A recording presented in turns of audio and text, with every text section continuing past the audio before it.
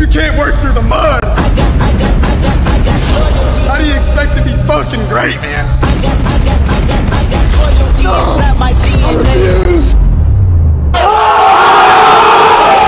back to the channel. Um, it, it Monday, so we have got a pull session. We've got a pull session right now. We're going to change the pull session to it's just a back day, really. Um, so we're going to do something I haven't done in ages.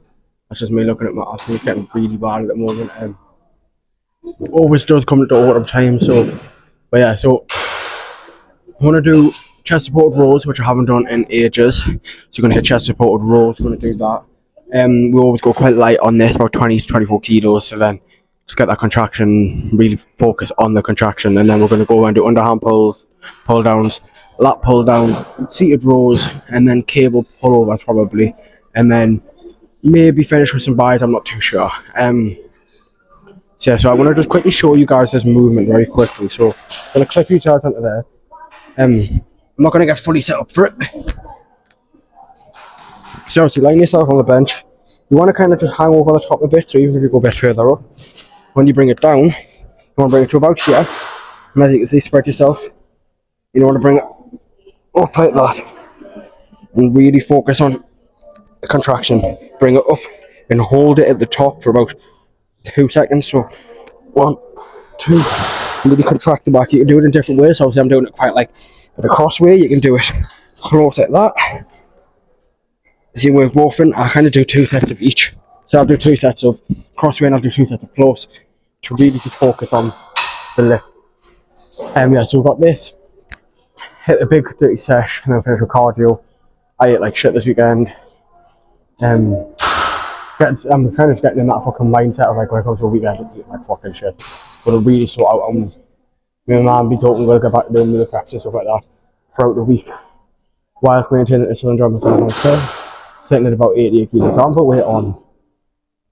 Um, I think I put like a kilo on over the past month, so that's not that bad. Kind of just keep losing weight throughout the week and then putting it back on the weekend. We're going to hit this now. Is it going to be a talk over session? Going to be a run through session.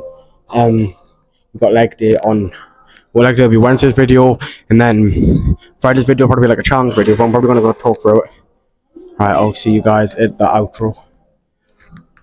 I'm just staring at you gym, bro. Run the montage.